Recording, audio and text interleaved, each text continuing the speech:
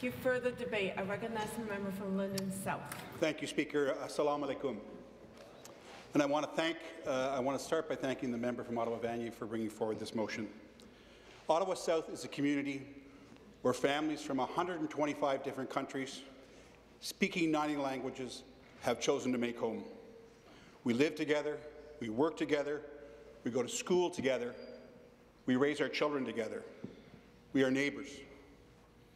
There are not many places in the world where I, what I just described happens, and it's in many communities across Ontario. We live in a very special place, and it takes work to preserve that, and that is why we are here today. We have some work to do. A phobia is an irrational fear, and make no mistake, Islamophobia is real.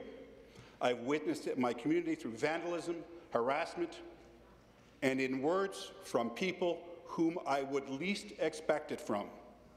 And we've seen the tragic results of Islamophobia in its extreme and what it can yield most recently in Quebec City. It is heart-sickening.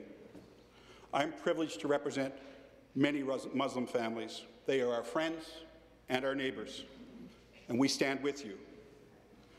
Speaker, there is a political discourse south of the border that is poison, a cancer.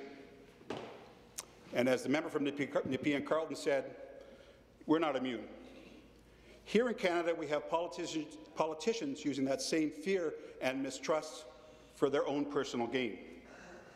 We have organizations using Islamophobia as a marketing tool, clickbait for profit, and then discounting it by using free speech as a specious shield.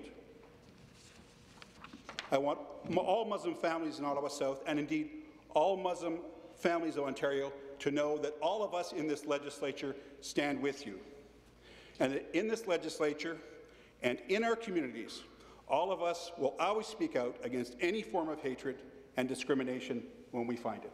Thank you, Speaker.